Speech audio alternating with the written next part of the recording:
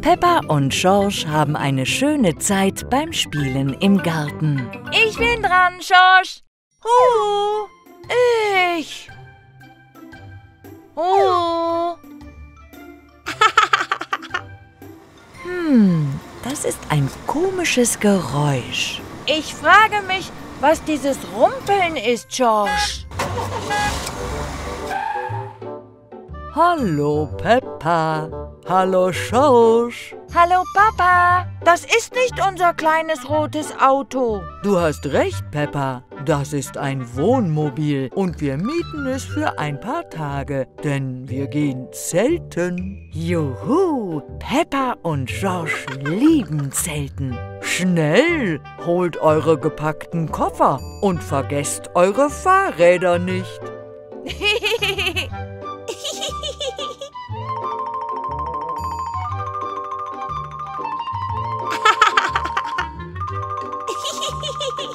Sind alle soweit?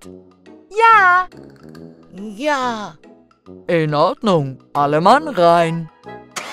Los geht's. Halt!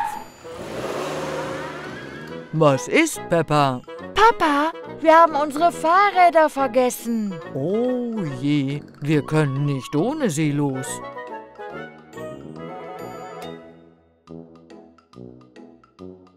Versuchen wir es noch einmal.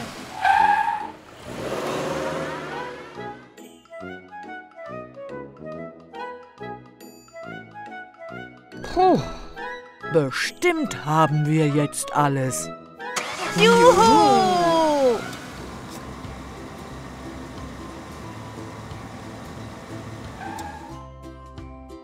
Papa Wutz, Mama Wutz, Peppa und George sind am Zeltplatz angekommen. Ich liebe den Wald.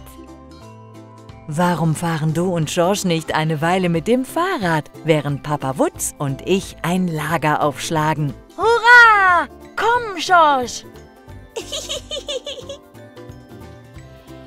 Juhu! Ich mag unseren Zeltplatz, Papa Wutz. Ich auch. Nun, wer hat Hunger? Ich. Ich. Es ist schon Zeit für das Abendessen. Mama, kennst du irgendwelche Lagerfeuerlieder? Hm, ein Lied kenne ich. Bong bing boo, bing bong bing, bing bong bingeli bongeli boo.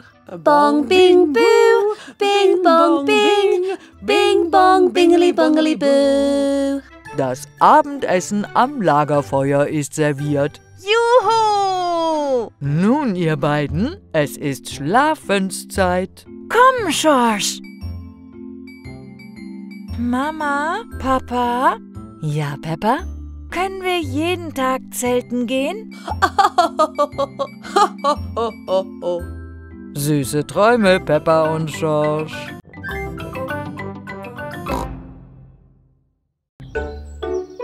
Das Wohnmobil.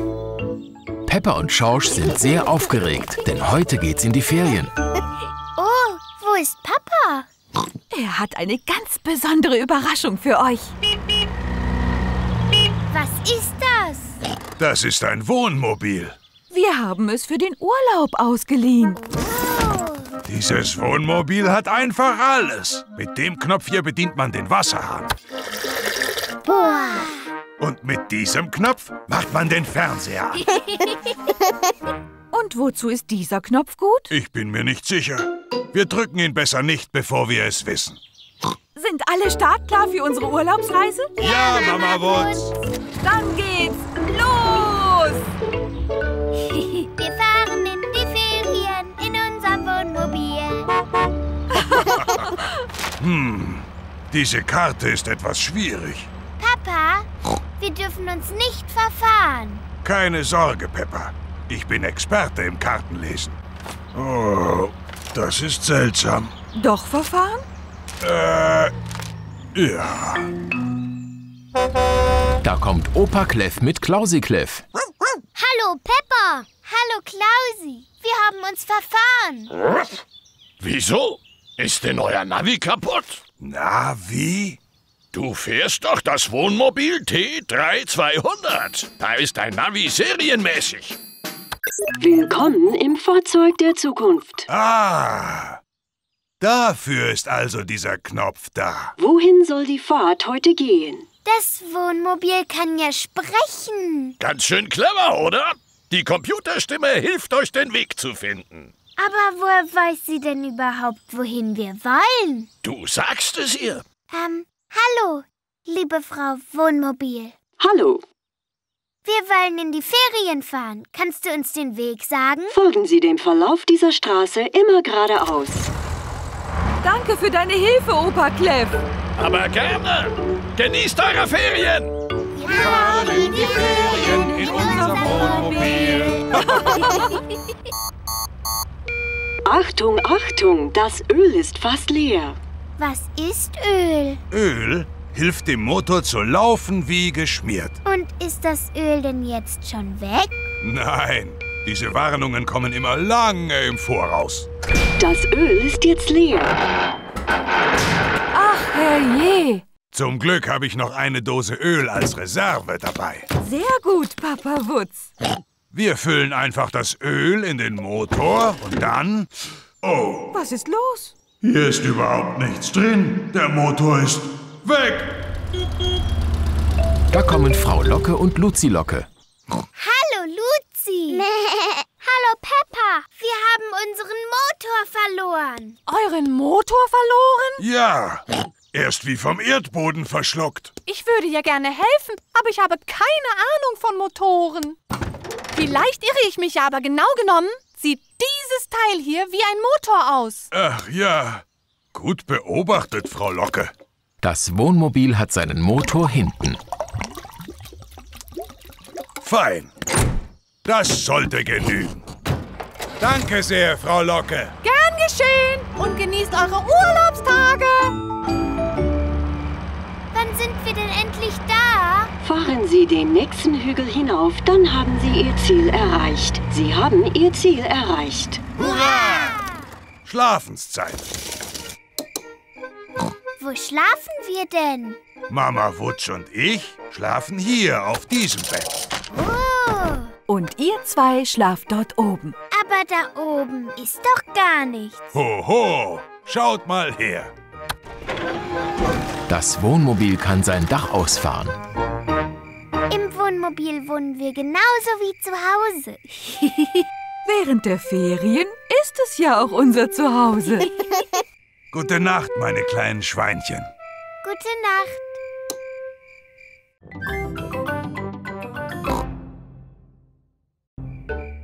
Der Campingurlaub. Peppa und ihre Familie machen Ferien im Wohnmobil. Guten Morgen, meine kleinen Schweinchen. Guten Morgen, Papa Wutz. Ich liebe Camping. Wo wir nun schon mal auf dem Land sind, habe ich mir gedacht, dass wir uns hier mal die Natur anschauen könnten. Gute Idee, Mama Wutz. Schauen wir uns doch eine Natursendung an. Eines der wirklich großen Naturwunder. Vögel. Wie wunderbar. Husch, husch, kleiner Piepmatz. Wir können sonst die Sendung nicht hören. Oh, Papa Wutz, du willst doch nicht im Ernst unseren Campingurlaub mit Fernsehen verbringen, oder? Das können wir auch zu Hause. Äh, du hast recht, Mama Wutz. Hier gibt es nämlich viele spannende Dinge zu sehen. Zum Beispiel die Waldwelt. Was ist die Waldwelt? Die Waldwelt ist ein riesiger Wald voller Bäume.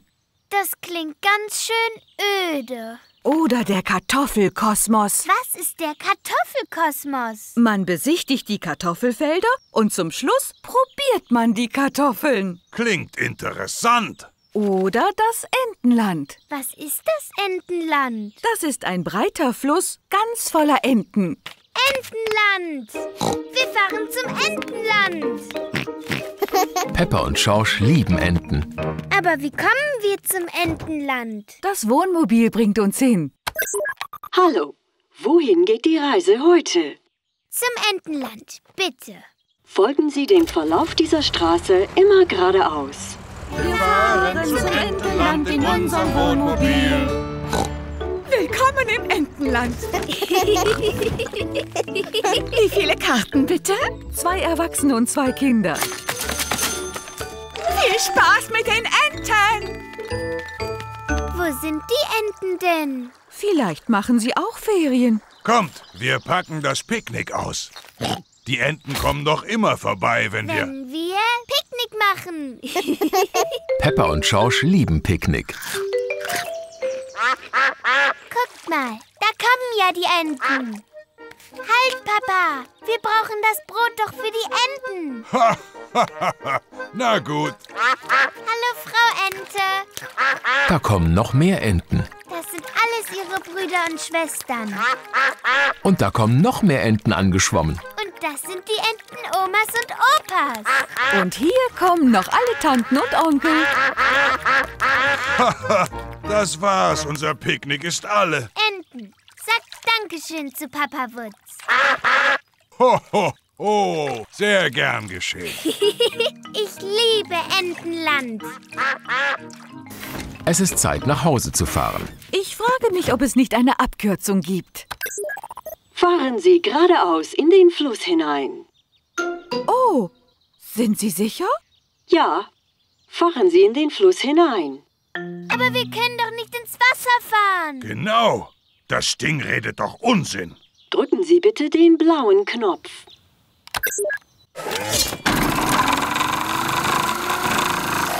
Das Wohnmobil kann tatsächlich im Wasser fahren.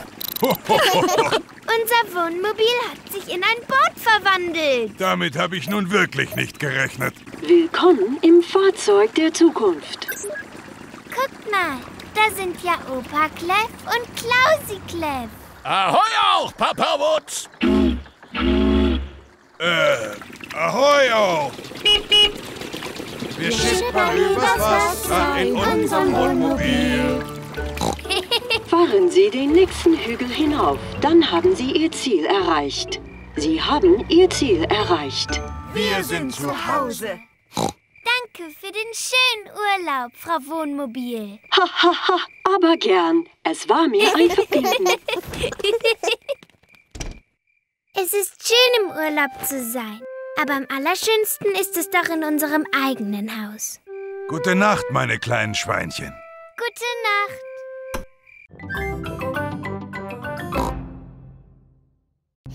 Ein Ausflug mit dem Bus.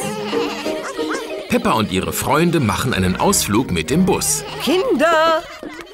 Kinder, alle mal herhören. Wir müssen gucken, ob alle hier sind. Peppa und George. Hier. Luisa und Linus Löffel. Hier. Luzi Locke. Hier. Zoe Zebra. Hier. Klausi Kleff. Hier.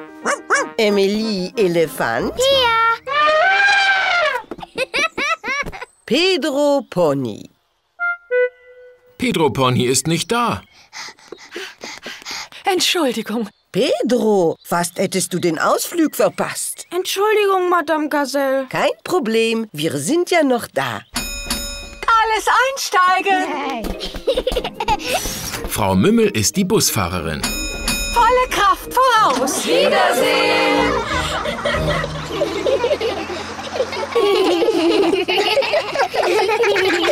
Kinder, hört mal alle her.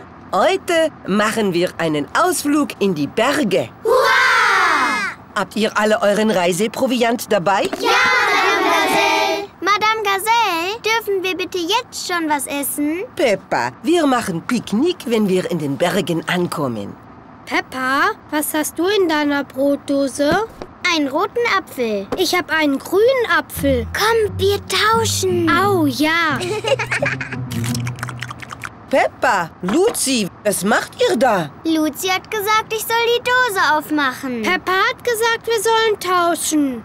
Ist schon gut. Aber bitte hebt euch was für das Picknick auf. Ja, Madame Gazelle.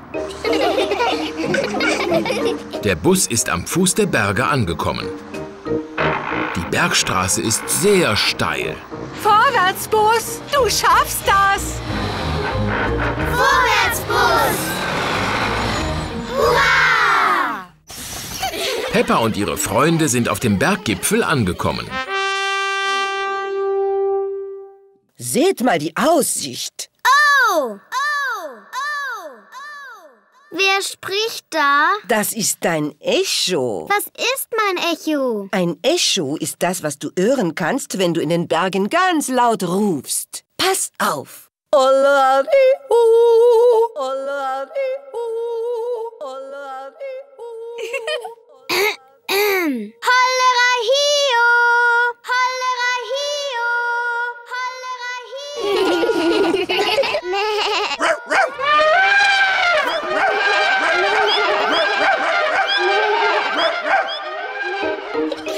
Echos machen Spaß. Zeit für unser Picknick. Peppa liebt Picknick. Alle lieben Picknick. Wo sind die Enten? Die kommen doch immer, wenn wir Picknick machen. Dumme Peppa. Enten leben doch nicht in den Bergen. Äh. Hallo Enten. Möchtet ihr etwas Brot? Heute haben die Enten Glück. Es gibt eine Menge Brot. Die Enten fressen zu hastig. Du liebe Güte. Heimfahrt! Alles einsteigen! Es wird Zeit, nach Hause zu fahren. Allen hat es viel Spaß gemacht. Los kommt, wir singen was. Singen Sie uns den Bing Bong Song bitte. Oh oh. Bitte, Madame Gazelle. Bitte den Bing Bong Song. Na gut. Wir machen Musik und wir singen ein Lied mit nem Bing und nem Bong und nem Bing. Bong, bing, boo. Bing, bong, bing. Bing, bong, bingeli, bongli, boo. Bong, bing, boo. Bing, bong, bing. Bing, bong, bingeli, bongli, boo.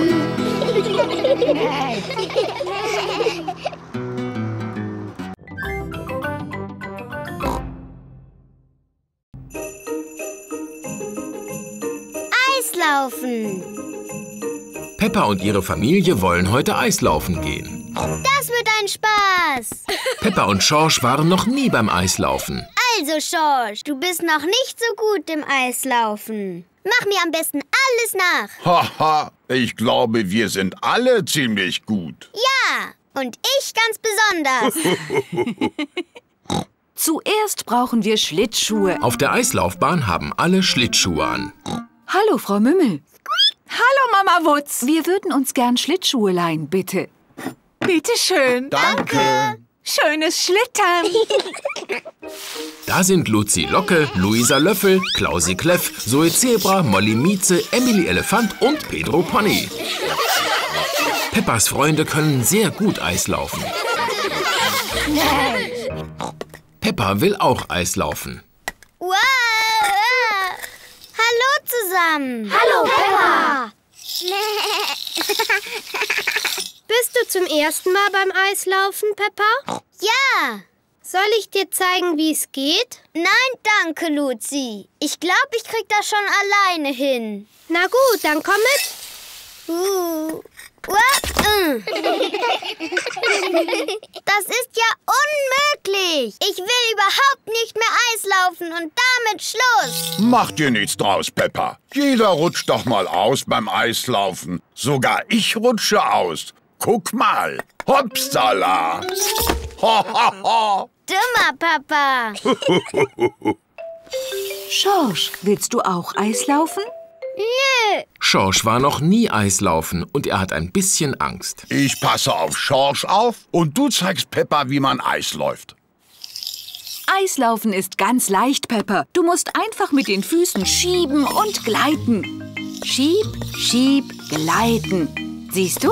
Schieb, schieb, gleiten. Schieb, schieb, gleiten. Das ist einfach. Jetzt kann ich's schon alleine, Mama. Schieb, schieb, gleiten. Schieb, schieb, gleiten. Gut gemacht, Peppa. Guck mal her, ich kann Eislaufen. Peppa macht das richtig gut. Ja, ich bin ja auch eine gute Lehrerin.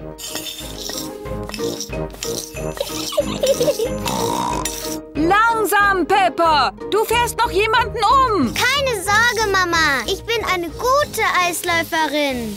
Oh, wo sind denn die Bremsen? Oh weh, ich hab vergessen, ihr das Bremsen beizubringen. Oh. Ah, ich kann nicht anhalten. Passt auf! Mama hat dir das Eislaufen gezeigt, aber ich habe dir gezeigt, wie man hinfällt. ja, und ich bin schon richtig gut im Hinfallen. Schorsch, willst du nicht auch Eislaufen? Nein. Komm schon, Schorsch, das macht Spaß. Ich zeig's dir. Also, zuerst musst du... Schorsch, komm zurück. Ich bring dir bei, wie man Eis läuft. Was für eine Überraschung. Schorsch kann wunderbar Eislaufen. Boah, guckt mal, Schorsch.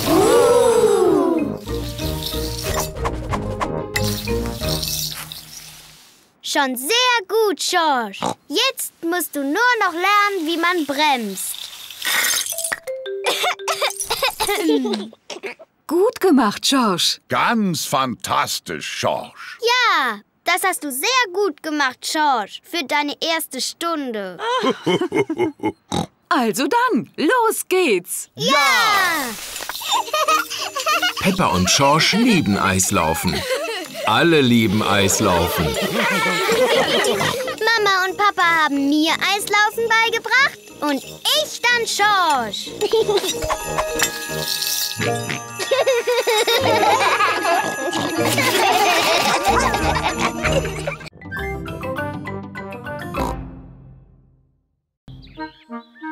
Das hohe Gras. Peppa und Schorsch spielen im Garten. Oh, Die Wiese ist schon eine Weile nicht gemäht worden. Das Gras ist sehr hoch. komm schon, Schorsch. Schorsch, wo bist du? Ich sehe dich nicht. Schorsch, ich komme und fang dich. Peppa und Schorsch können sich nicht sehen. Ups. Peppa und Schorsch lieben es, im hohen Gras zu spielen. Papa Wutz möchte Zeitung lesen. Ach, was für ein schöner Tag. Genau richtig zum Faulenzen. Papa Wutz liebt das Faulenzen. Du meine Güte, Papa Wutz, wir haben den Garten ein bisschen vernachlässigt. Wie meinst du das, Mama Wutz? Die Wiese, sie muss gemäht werden. Oh, mir gefällt das so. Sieht nach Wildgarten aus. Mama, Papa, kommt, spielt mit uns im hohen Gras. Das macht Spaß. Hoho, na gut. Spielen wir mit dem gepunkteten Ball.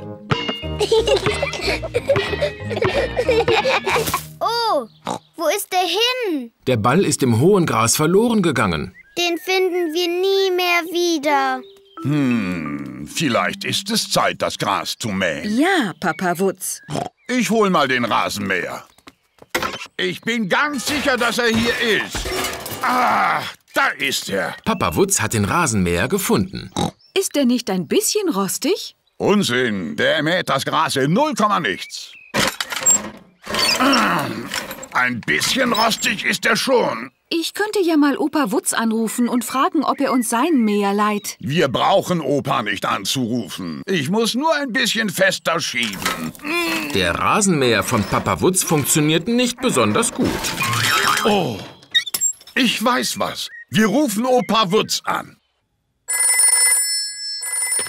Hallo, Opa Wutz am Apparat. Hallo, Opa Wutz. Könntest du uns helfen, sehr hohes Gras zu mähen?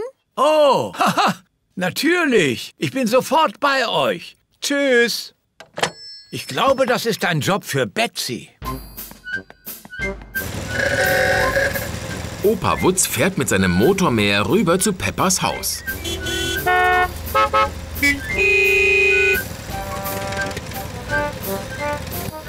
Opa Wutz! Opa Lust! Hallo zusammen. Wie ich höre, gibt's hier Gras, das zu hoch ist. Es ist ein bisschen zu hoch für meinen Rasenmäher. Kein Problem. Betsy schafft das in null Komma nichts. Heißt dein Rasenmäher etwa Betsy? Ja, Peppa, so ist es. Hallo, Betsy. Opa, dürfen wir auf Betsy mitfahren? Aber natürlich. Rauf mit euch. Ei, ei, Captain Opa. Das haben wir in 0, nichts gemäht. Festhalten, es geht los. Hui! Betsy ist eine sehr gute Rasenmäherin. Das macht Spaß.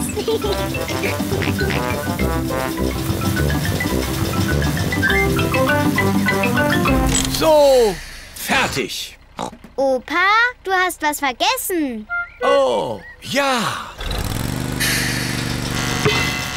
Was ist das? Oh, unser Punkteball. Dankeschön fürs Ballfinden, Opa. Und Dankeschön fürs Rasenmähen. Mit Betsy ist Rasenmähen ganz einfach.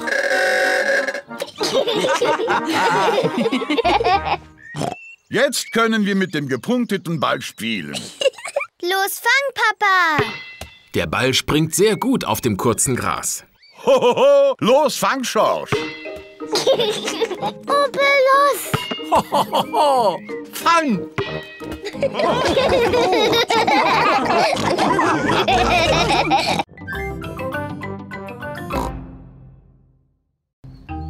Beim Zahnarzt.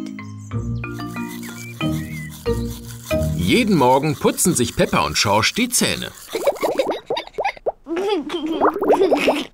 Heute gehen Peppa und Schorsch zum Zahnarzt.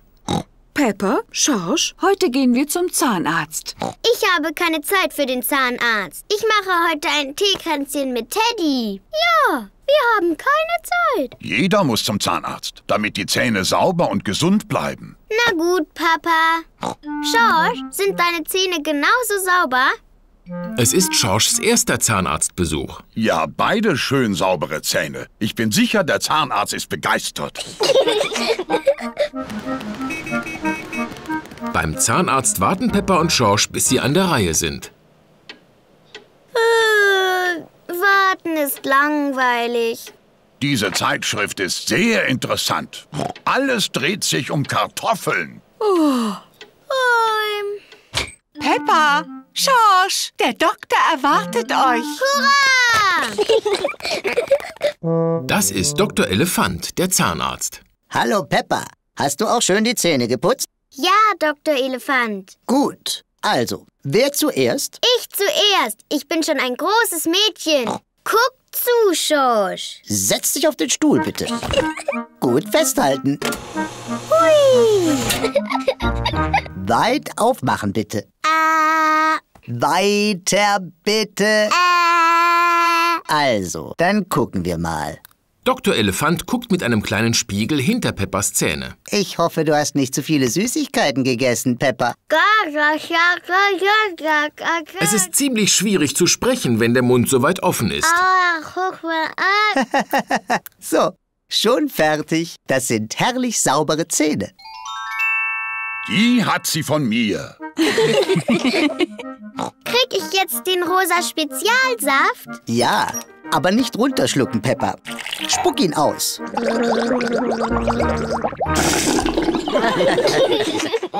Schorsch, jetzt bist du dran. Nein.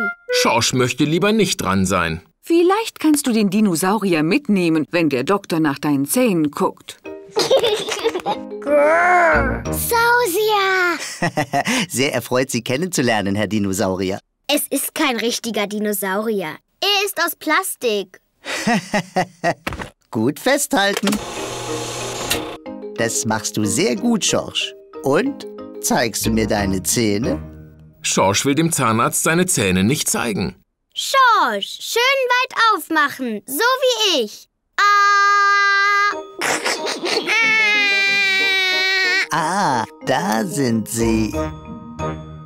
Schon fertig. Du hast sehr starke und saubere Zähne, Schorsch. Sind sie so schön wie meine, Dr. Elefant? Ah. Ja.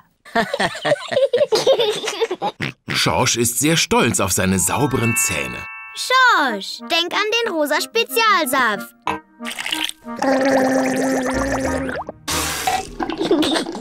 Moment mal, was ist das? Was ist denn, Dr. Elefant? Schorsch hat saubere Zähne, aber die von diesem Dinosaurier sind sehr schmutzig. Oh nein, jetzt ist Dr. Elefant sehr böse mit dem Dinosaurier. Überhaupt nicht, Peppa. Es ist mein Beruf, Zähne sauber zu machen. Den Wasserstrahl bitte, Frau Mümmel.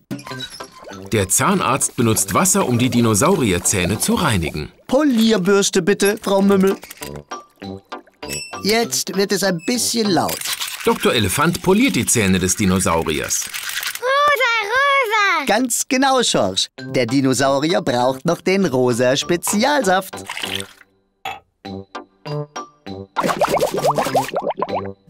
Oh, was für strahlende Zähne für einen Dinosaurier. Sausia. I, ich krieg Angst. Schorsch liebt seinen Dinosaurier, besonders mit so schön sauberen Zähnen.